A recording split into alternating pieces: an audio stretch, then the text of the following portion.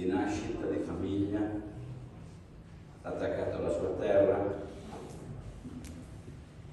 molto colto, molto curioso, molto ironico. Un uomo che nella sua passione politica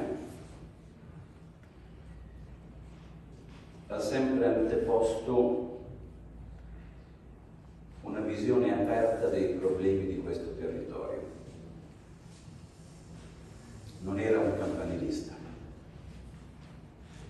era un uomo che vedeva e sapeva di essere il mondo e lo vedeva come cittadino del mondo, cittadino del suo territorio, con una visione molto molto aperta su ogni tema